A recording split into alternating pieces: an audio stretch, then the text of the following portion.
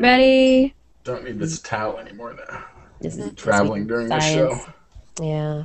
Justin's doing some traveling. I'll keep my towel with me just. He's in case. hitchhiking, hitchhiking a little bit. Hey everyone, this is This Week in Science, and we are here, hopefully, without any uh, technical difficulties for the rest of the show.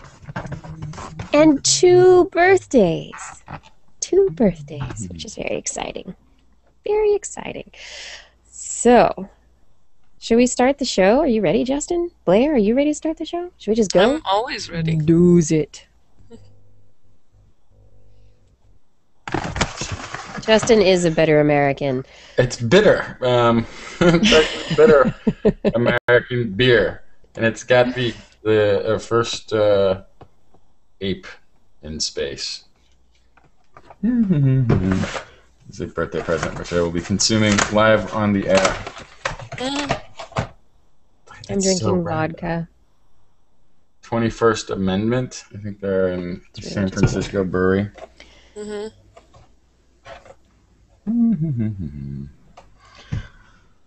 Shall we do some radio magic? Yes. All right, let me see. Let's uh, let me give me a few minutes to write a disclaimer. Typity tippity tappity type tap type. Okay, we're good.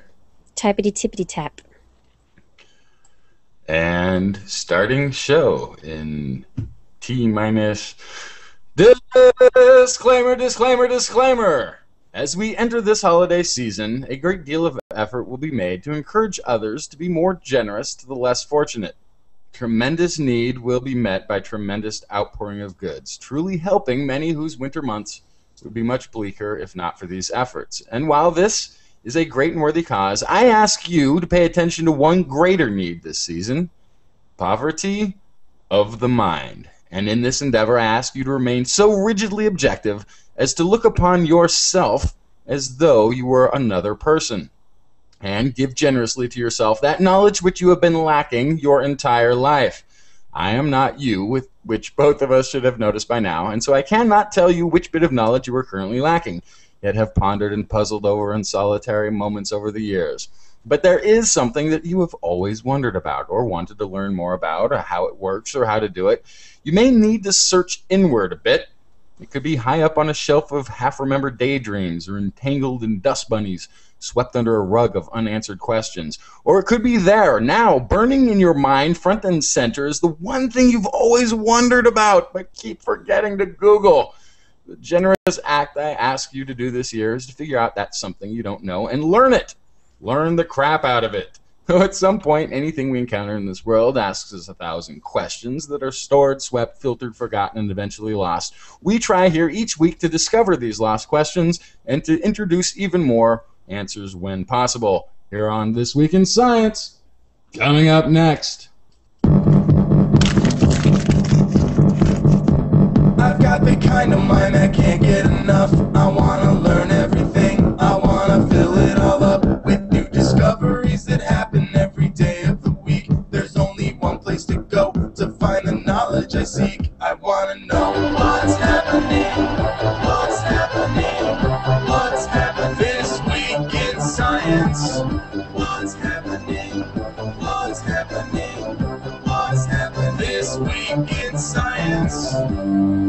Good science to you, Kirsten and Blair. Good science to you too, Justin. And happy, happy, happy, happy, happy birthday. Oh, You, but Yeah, to Blair too. Yeah. We got mm. two, two birthdays. Birthday girl, birthday boy. Happy birthday science to you. wait, wait, Happy don't birthday sing that. Don't we'll get, science we'll get to booted off you. the. No, you can't sing that song. It's What? uh, Happy heavily- science birthday. Heavily, no, it's heavily birthday. To you. What day is today? It's Happy science Justin's birthday, to you. No. it's not Justin's birthday. It was. It's not your birthday anymore. It was. no. It was. It's past. Yeah. And it's not 12 12 12 12 12 12 12 12 anymore to Nope, that also atomic happened. clock people. That also happened. But we'll, we'll get that again in another hundred years, so it's not Yeah. like a real big deal. Well, not wait, eighty-three. Yeah, it's not Years. quite 100 years. How is it not a hundred years that we won't until we have another oh, 12, 12, 12, 12, 101. 12, 12, 12. Oh, but that's not 12, 12, 12, 12, 12. Right. I'm talking about the 12s. Yeah, we'll have a ones. We'll have, we'll have all kinds of those. will keep coming. Fair enough. Sticklers. And we have another special day coming up also the end of the world, December 21st. It's coming, folks. It's really coming. And you know what we have? Do you know what we Oh, have what- what's coming for us? Dun, dun, dun, dun, dun, dun, dun, dun. The end of the world? The end of the world.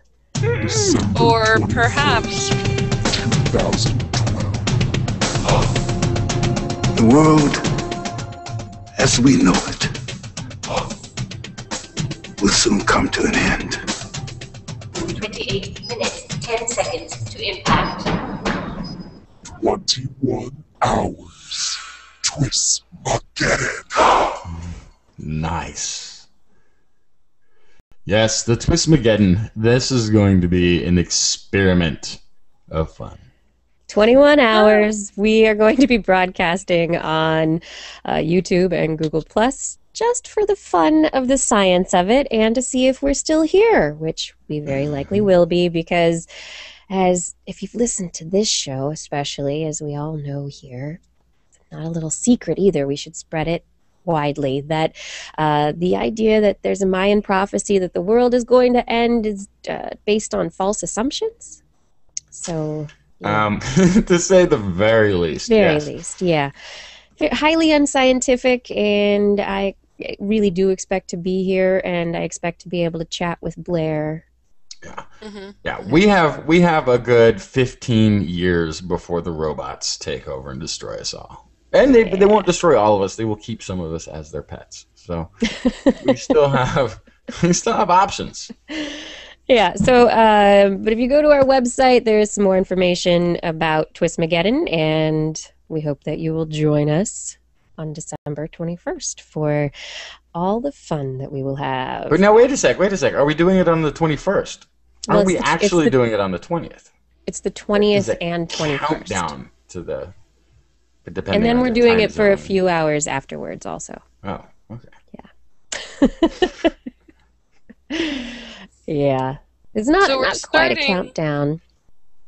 We're starting at 4 p.m. PST, right? Yes. Okay. Live on the Google Plus network. At zero So- hundred hours universal coordinated time. Yes. That information is on the website. Nice. Yeah. Right. What Yeah, did you bring today, talk- Kirsten? Yeah, that's what I was gonna say. We talk about details later. Let's get into the stories. So uh, today I have stories if I can find them.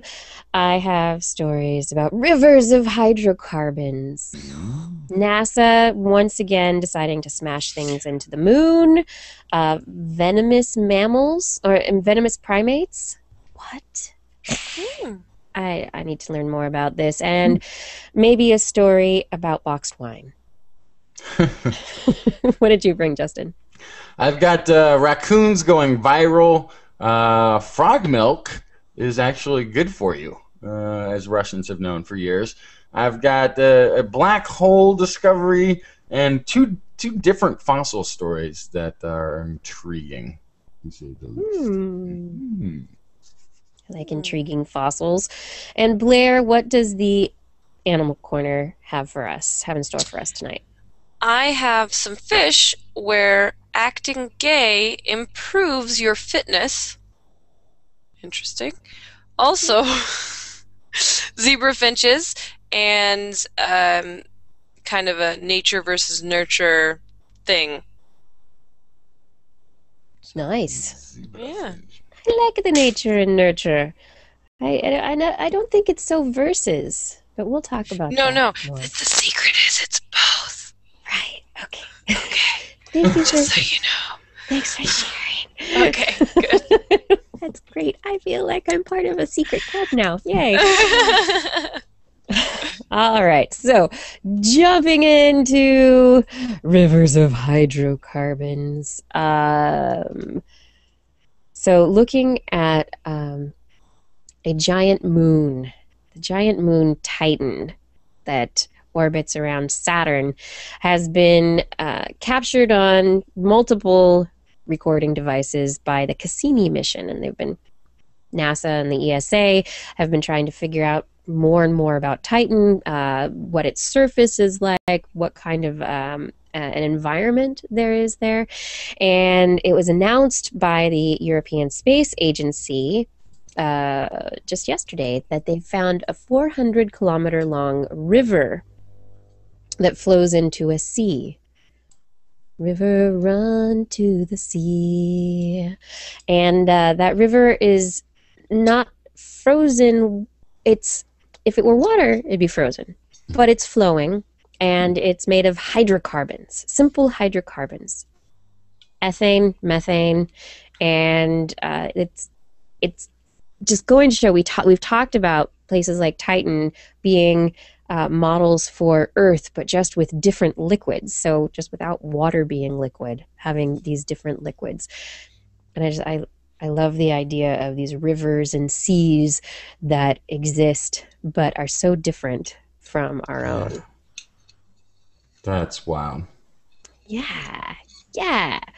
Um, they're going to continue the Cassini mission through 2017, so we should be getting some more information about Saturn and Titan and the other moons um, uh, of Saturn for at least the next three, four years or so, four or five years, and there'll probably be even more data um, beyond that. We'll see. We'll see. They uh, they might burn it up in Saturn's atmosphere when they decide to end it, which Just it seems for kicks, or just- yeah, just for kicks, and that seems to be like the the the modus operandi of space agencies. And when we're done with this, we will send this craft into the atmosphere of the planet it is observing, and it will burn up and just go away, or it will smash into it.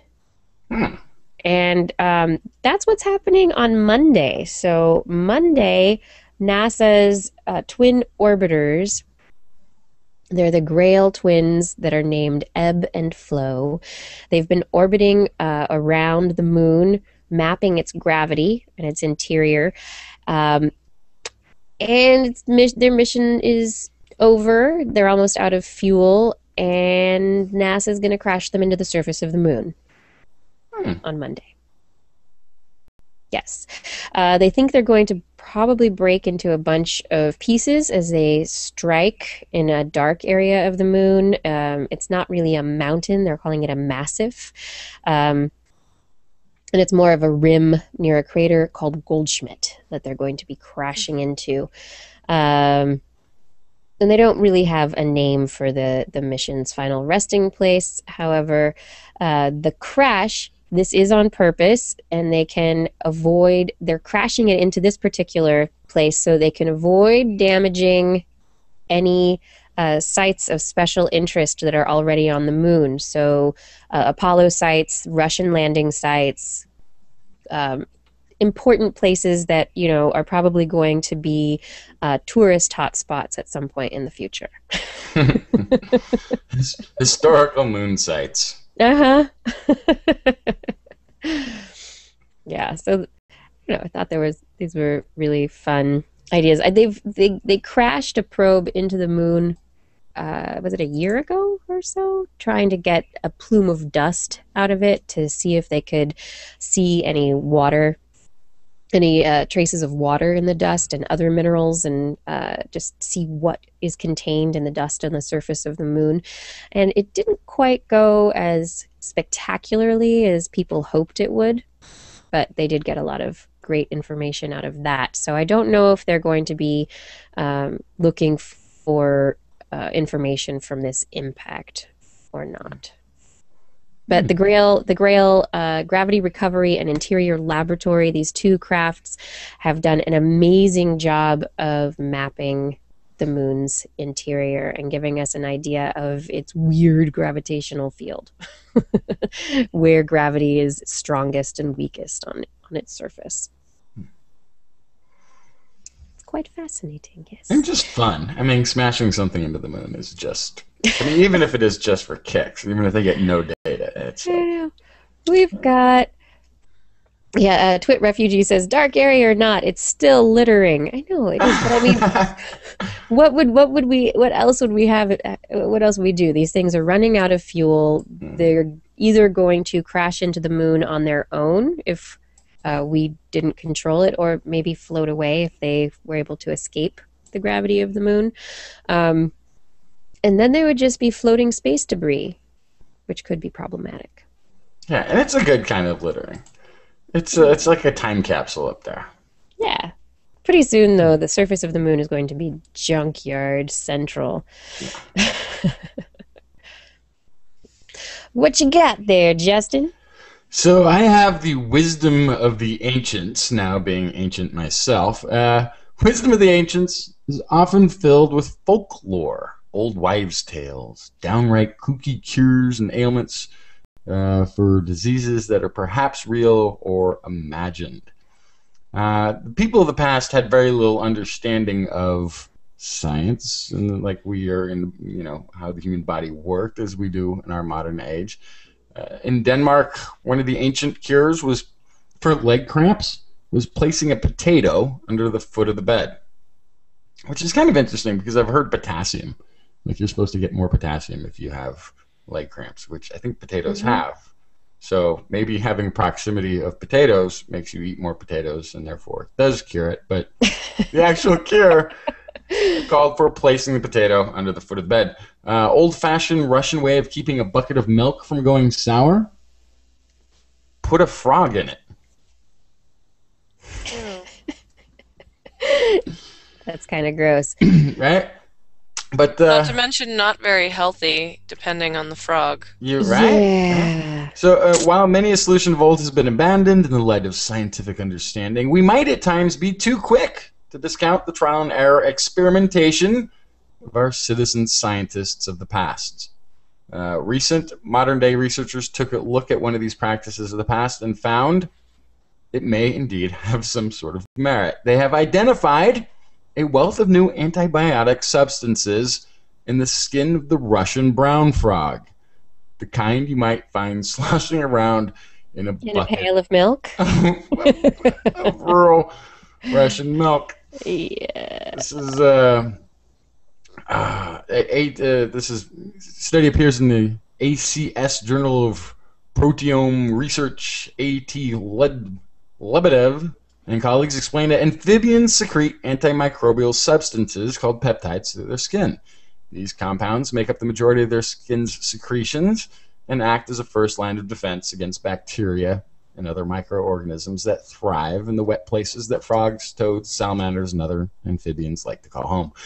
Previous study identified on the skin of the Russian brown frog 21 substances with antibiotic and other potential uh, medical mm, useful activities.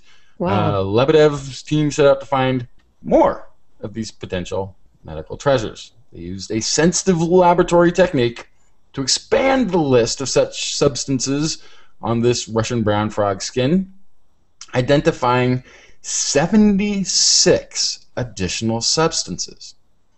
They describe lab tests in which some of the substances performed as well against salmonella and staphylococcus bacteria as some prescription antibiotic medicines. These peptides could potentially uh, could be potentially useful for the prevention of both pathogenic and antibiotic resistant bacterial strains, while their action may also explain the traditional experiences of the rural Russian population. So, as much as like, it's just- I just love this. I don't know, but the, the question I always have, they're like, okay, so it worked, and great. There was some citizen scientific uh, guess and check stuff going on in the past, but Yeah. Whose idea? How does that start? Does a frog just happen to end up in the milk, and they're like, "Oh no, there's frog in the milk," but how well this milk is blasted. This I have a milk is very important question of mm-hmm. whether the frog is alive or dead when it's in the milk. You know, it doesn't say, but I assume it's a frog. It can live in, you know, they can live in murky, muddy swamp but water. Why not They milk? also they're also an animal that defecates, and then you have them defecating in your milk. Ew.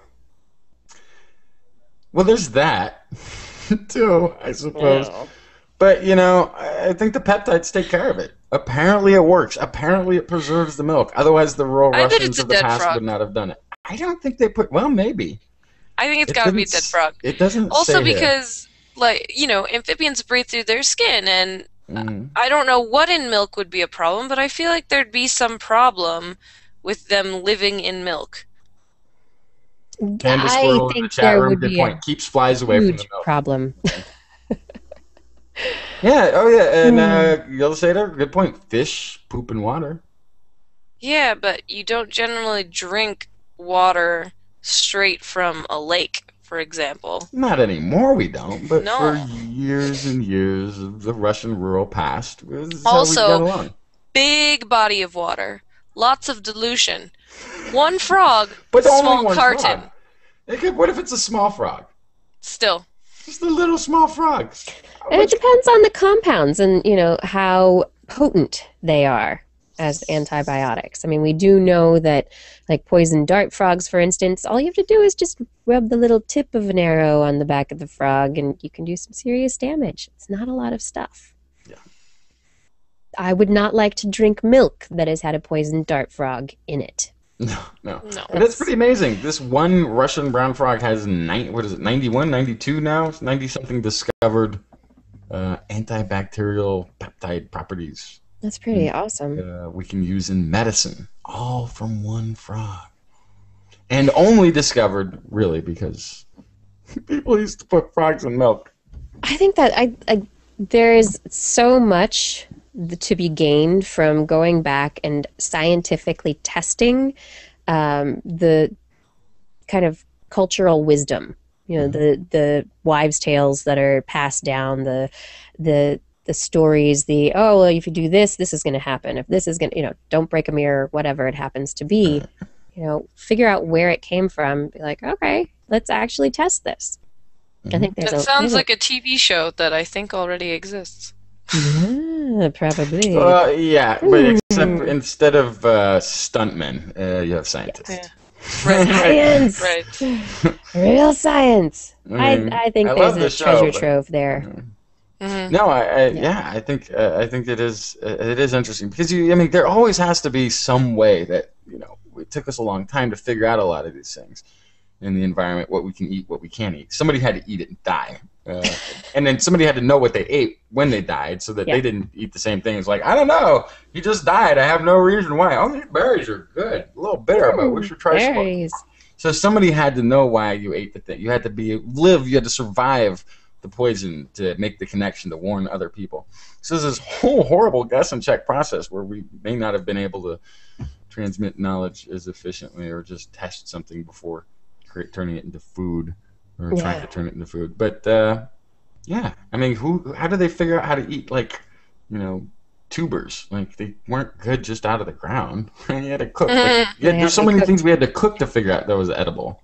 Right, and there are all sorts of there there are all sorts of tubers that are really toxic. Many potatoes that are very uh, species of potatoes and mushrooms very toxic. Some species of potatoes have to be eaten with uh, with clay in the diet to allow for your body to actually get take the toxins out.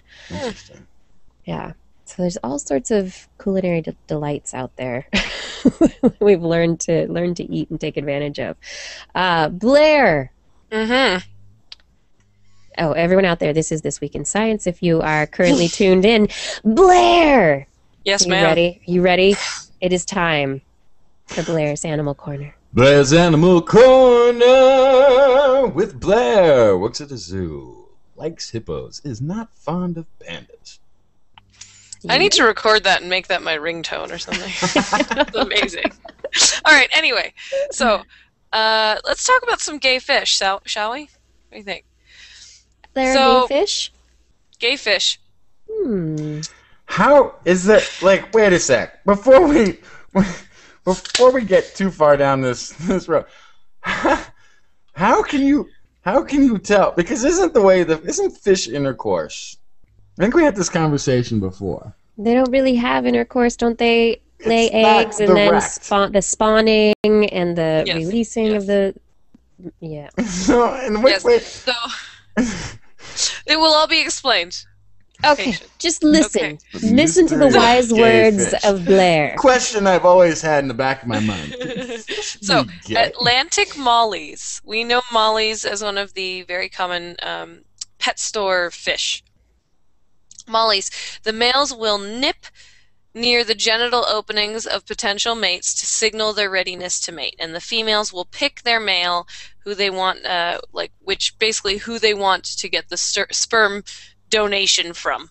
Right. based on the so- based on well usually it's things like their size and how colorful they are and all of this but the nipping is kind of the last part it's the foreplay if you will before um, the actual act so what they found is that there's this thing called uh, mate copying in the animal kingdom, very common, where basically, if I'm a female and I'm picking a male that I think is the most fit to be the genetic donor to my offspring, if I see him mating with someone else or exhibiting mating behaviors with someone else, I can assess his fitness.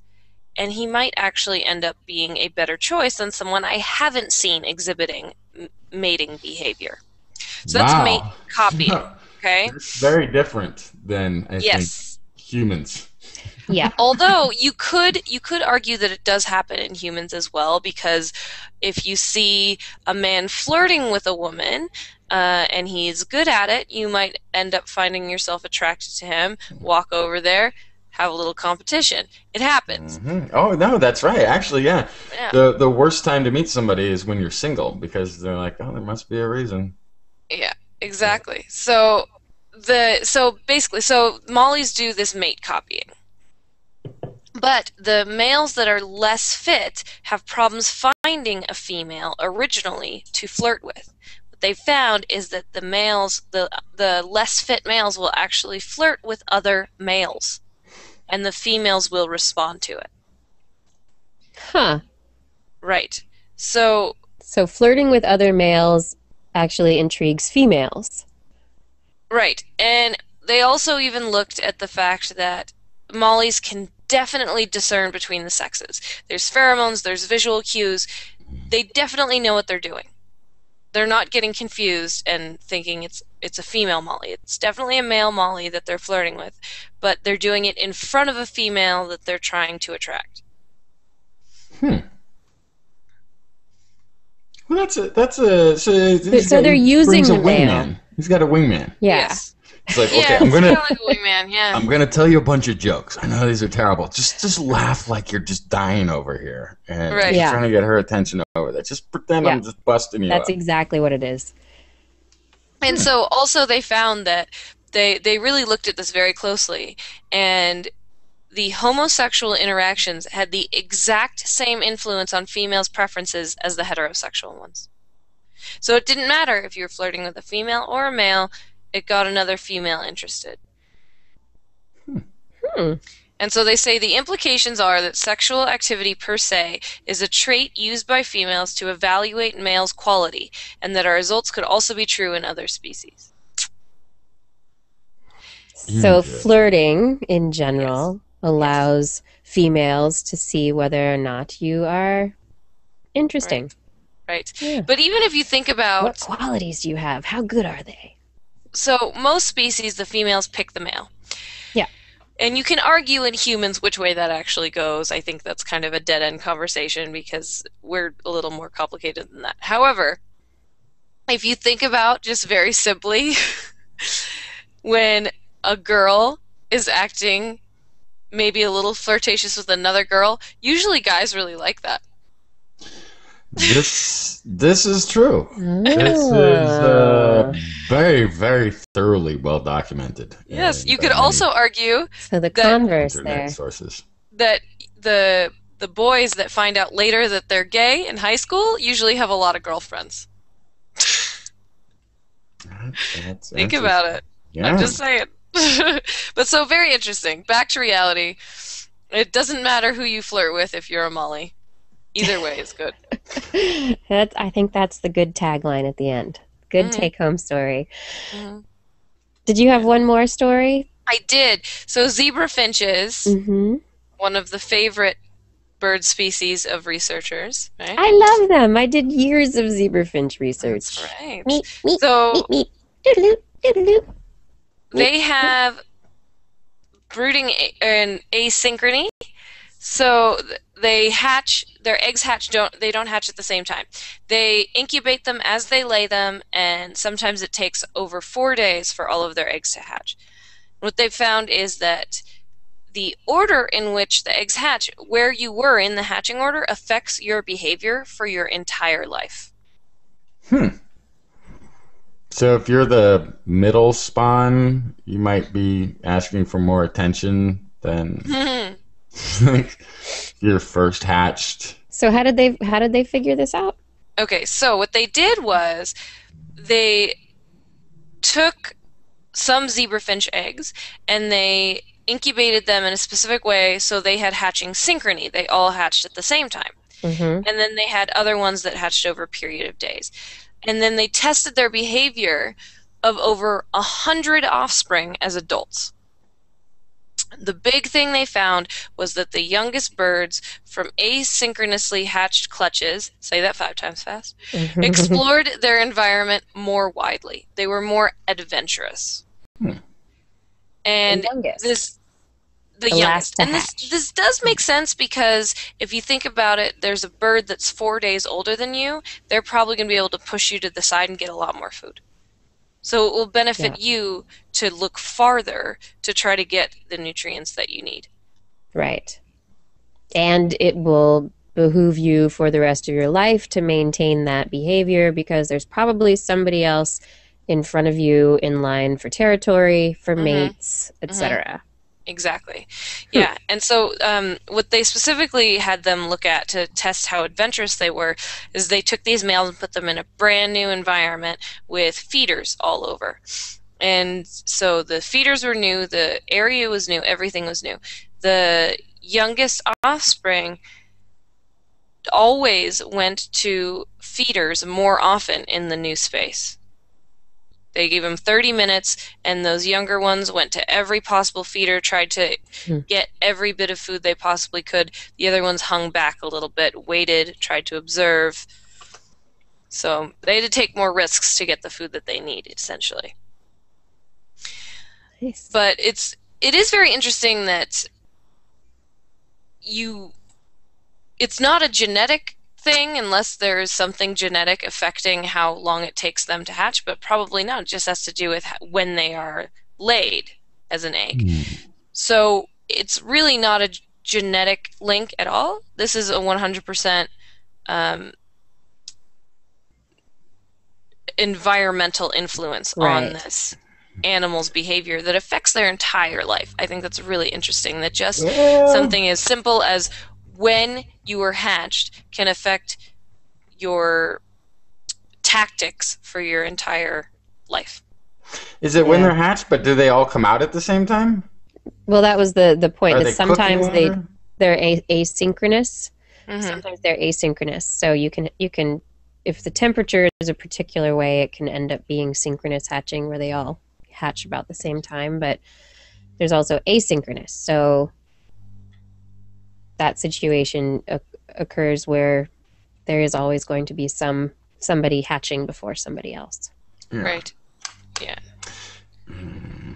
Yeah, and four days in uh, the bird world for a chick actually is quite a size difference. it's a long From time. the oldest to the youngest, yeah, they Yeah. could be twice the size of the younger in the brood. It's very interesting. Yeah. Hmm. So Cool. I wonder, and, and I'd love to compare this to, you know, mammalian other research. Of course. there is that kind of a uh, a novelty seeking trend in the youngest offspring of any Yeah. clutch of animals. And then you start to think about sibling situations where they're not clutches, and there's a lot of research that can be done here um, behaviorally. I think it's I think it's a very interesting area to look at. Although I think I think much of that research would uh, would have to be done on the parents themselves because the first kid it's like no no no no don't touch don't don't do this don't do that. You'll break your leg you'll fall over this you'll knock that's gonna land on you. And then by the time like the third or fourth kid comes along it's like yeah just uh just don't kill yourself kid. Right.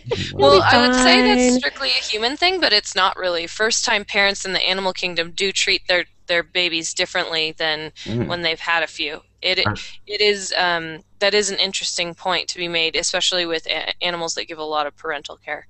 Hmm. It's very interesting. it's parents not nature So, nature versus nurture, it's both. it's both. They both have amazing influences. And do you know what time it is now? It's time for us to take a break. So, uh, already to- I was just getting into the whole It's time- thing of doing the show and science and Things. It's just a break. It's just a oh we're little coming break. back We're oh, coming we're, oh, we're back. coming back in a few oh excellent oh, Yeah. perfect. yeah yeah And- I'm excited this is awesome And I'm and I'm coming back with some venomous primates. That's I've got coming back viral raccoons. I'm gonna counter your venomous pi- primates with. and I'll raise you. Would win? Mm. Excellent. Everybody stay tuned. We'll be back in just a few moments. Behold the Oklahoma plain, planted with a single strain, a blanket spun from golden grain, a trillion stalks of wheat. On every stalk, a perfect head.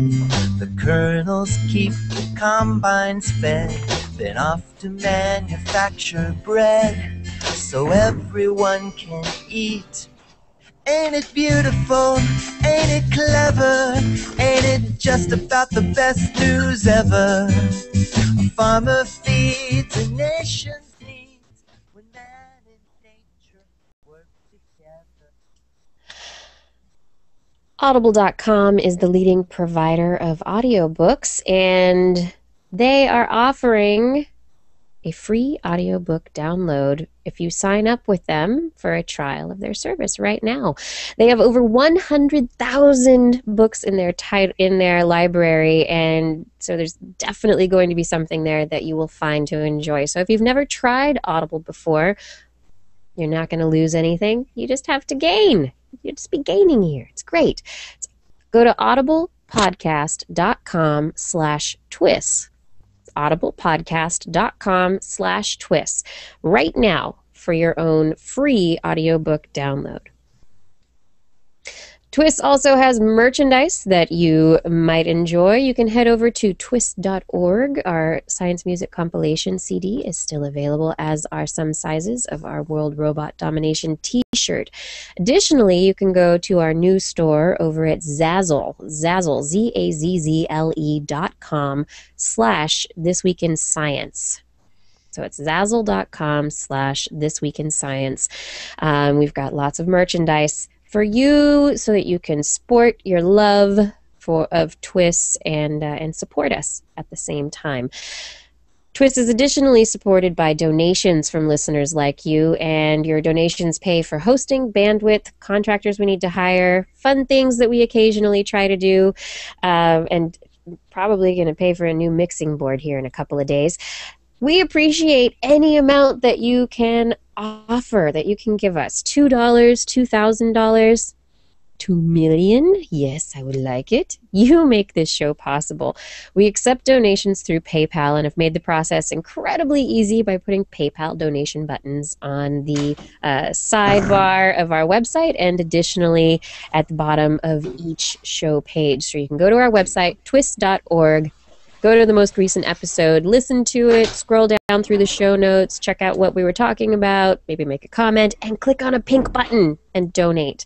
It is that easy. We thank you for your support. We really couldn't do it without you.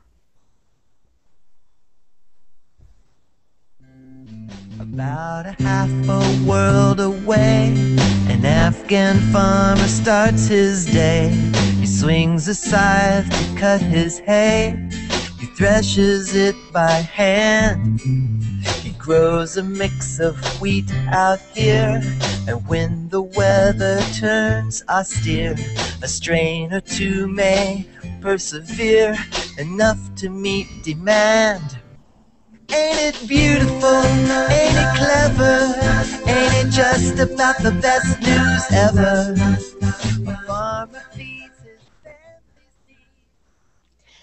And we are back. Though I don't know where Justin is. He's gone someplace else. But I have venomous primates. Yay! I do. Yay, venomous primates! Awesome! And these venomous primates are actually pretty cute to look at at the same time. Uh, researchers checking out the jungles of Borneo have found a new species of slow lories. Mm. Yes, slow lories, and uh, they classified two previously known subspecies as distinct species, and a completely new species called the Kayan lories. And so I'm going to see if I can uh, give you a, a screen share so you can see what these little little guys look like. Um, so this venomous primate, look into its eyes. Look into its eyes. It is. It will stare you down, and um, they're very cute, but pretty dangerous. You don't want to be bitten by these animals. Um, the Kayan loris has a gland on its elbow, which it can lick, and this gland produces. Um, a poison. It's a poison gland. And it licks its elbow, mixing the poison with its saliva, making it a venomous biter. So when it bites you, that poison is in its saliva and will uh, will affect you. Um, I I did not know that there were venomous primates or even I, that that was news to me. Did you know this? Did you did you know this? The only venomous mammal I knew about was platypus. That was it. Hmm. Which it's under their nails. But I wait, wait. So tell me again. So it's a it's a gland on their Elbow. elbow, that makes a poison, Yes. right? Okay, so this this is something that then they have in their mouth and they bite and the poison gets into your body. Into your body. Yeah. It's transferred via saliva. See, this is weird. I don't I guess Poison on the elbow, lick the elbow. Yeah. as opposed to poison. This is like a very gray area for me. Yeah, it's not it's not necessarily venom that uh, as in snakes where they have the venom gland that is pumped out through their uh, their fangs as they bite or even like a spider that the same idea the venom Mm-hmm. comes through the pulps as they bite. Um, Yeah, but poison is usually an ingestible, so I don't really know what you would call this other than venom. It's very Yeah. interesting. Yeah. And the loris is also really interesting. Um, this is something that I also did not know. They have a, uh, a a strange arrangement, a very interesting arrangement of blood vessels in their hands and feet so that they can hang on branches or grasp branches for hours and hours and hours and not have their hand or feet hands or feet go to sleep. Mm, So the blood continues to flow, taking taking metabolites away and uh, bringing new oxygen, oxygenated blood to those limbs and those muscles. Yeah, it's great. It's really nifty. So anyway, slow lories, and this is a new species called Nycticebus kayan, which is named for the Kayan River, which runs through the central east section of Borneo. Hmm. Yes. Venom. very interesting. Yeah, watch out for those cute creatures. Yeah. If you guys want to laugh, you should really uh, YouTube search Slow Loris and uh, there's lots of amazing videos because they're actually boutique pets in Japan, which is a horrible, horrible thing. They should not be pets. They're very hard to keep. Most of them die. But there's lots of ridiculous videos of slow lorises like being ridiculous because of that. So you should check it out. Check saying. out YouTube videos of slow Yes. Okay. Yes. Excellent. Mhm. Justin, what did you bring? What do you want to talk about now? You know, I, I have this uh, what sounds like a very groundbreaking story uh, that I want to do, but I've been completely sidetracked and utterly stunned uh, by Gord McLeod's post on Science with a Twist. Uh, is a, uh, a, a a current uh, article in Scientific American about Western chimpanzees, and it's filled with things I had no idea they're they're pu- putting forth uh, the question of whether or not the Western chimpanzees should be considered a new uh, species of pan uh, troglodyte. This is it's just kind of we, we may have to delve into this more next week uh, as I can have a chance to actually read the stories. Um, but here's some of the some of the observations that they've made uh, so far. One is that genetically they have they were separate from other chimpanzees, eastern chimpanzees, for the last 500,000 years. They Hmm. they use caves as places to socialize and sleep. They live in a sort of uh, mosaic environment that's like woodland, savanna, which is most chimpanzees live in completely forested environment. So their environment uh, is different. They can predict the movement of fire. When a fire breaks out, they can, you know, manage to avoid it properly. They construct spears to hunt other primates. What? Yes, uh, they sh- they share plant foods, which is one of those things that uh, last week's disclaimer was one of the things that was sort of I'd been doing some reading uh, on dogs and how you know we a, a dog will point out to another dog where there's food, which is something apes never do. You know, and so I was sort of pondering like maybe it was mankind's interaction with canines over the years that made us better at uh, collaborating on things because apes don't do that. No ape finds a piece of food and is like, "Hey, look over here, everybody! I found. Look, there's food over." They just go get it, you know, and eat it themselves. Uh, and others may observe them and do the same, but they don't uh, coordinate that. But they share plant foods. These these Western chimpanzees. Uh, they feed disproportionately on termites compared to other populations. They travel and forage at night, soak themselves, and even play in water, which most apes won't have anything to do with. Mm-mm.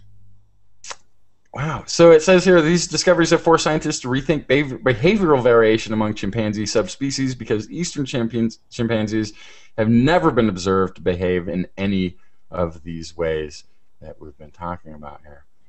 And 500,000 years of uh, separation seems like a good amount of time uh, for there to be quite a big difference. Should they be considered a different species with the genus Pan? So two things about this terrify me. Uh,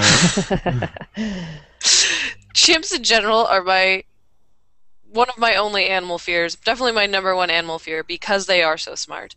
So now we found a smarter chimpanzee. Yeah. That's terrifying. Second, I've always been told, and it has always been my plan, that if I was ever being chased by a chimp, that I would jump into water because they're terrified of water. And now you've told me that these ones are not. These ones, they f- they frolic.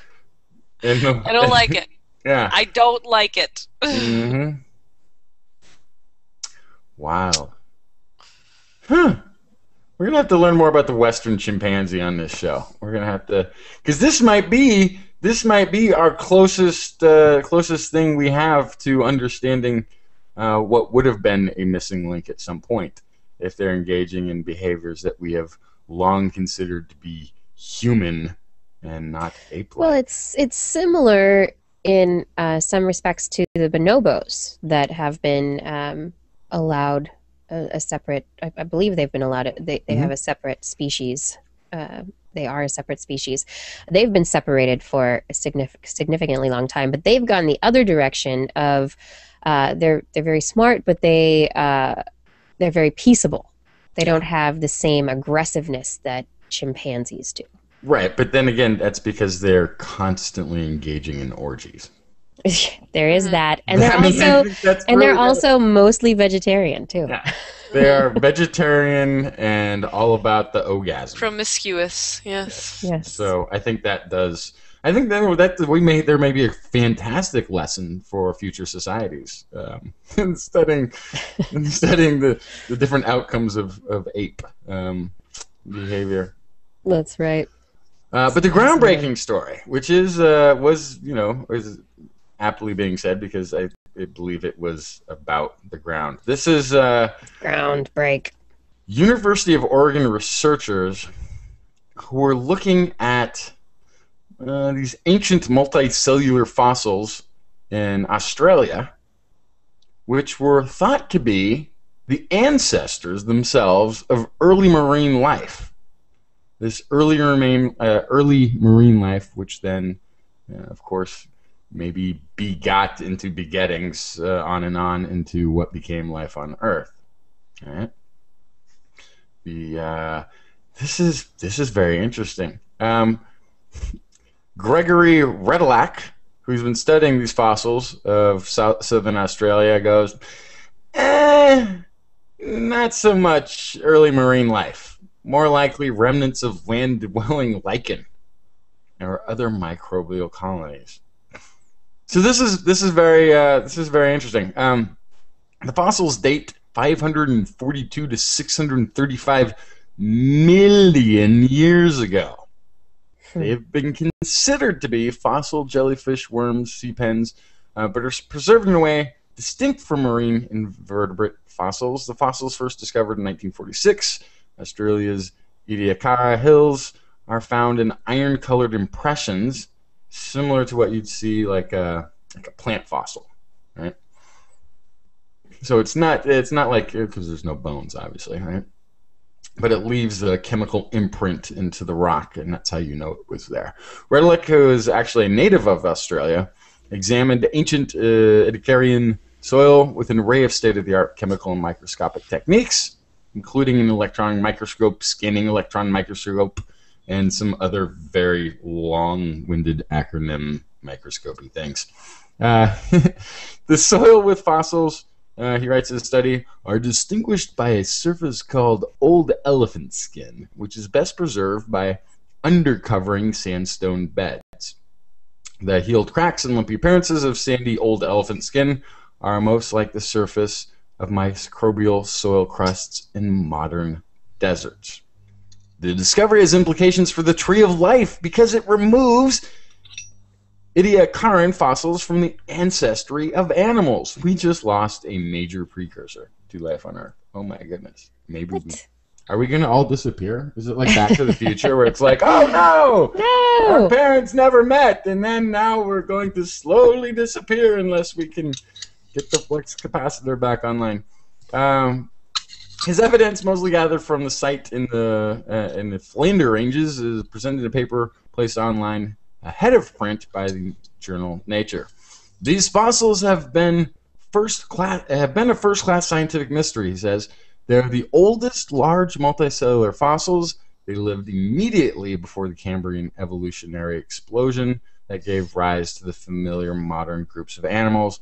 Uh, again, this is always thought to have been a seabed uh, but his studies, uh, the fossils determine that the diversity reflects preference by ancient organisms for unfrozen, low salinity soils rich in nutrients, most like terrestrial organisms. Wow. We've got to go back to the got to go back to the drawing board. And I wonder. I also kind of like the, the side thought is I also start to wonder then like well, if these aren't the precursors, does that mean life could have started on land first, or does it mean that we have a uh, pushback even even further the the original uh, you know first first life on on Earth? Implications for a variety of other fossils that could have been lichens, other microbial consortia, fungal fruiting bodies, slime molds, flanged pedestals of biological soil crust. Uh, we we didn't start out quite where we are now. He said this rep- all this all these fossils represent an independent evolutionary radiation of life on land that preceded by at least 20 million years the Cambrian evolutionary explosion of animals in the sea. Yeah. Wow. So basically, there's this just other lineage that got on land and went its own direction and then kind of petered out. Could be. our- I mean, that's and how he's representing it. So there's there's maybe a, an ancestor that's further back. yeah. Yeah. That's how he's representing it. Although, well, you, now we must we must keep pondering because really, I'd love to hear no, more about it. Well, because here's the amazing. Here's here's the really. Here's the like more fascinating uh, potential of this discovery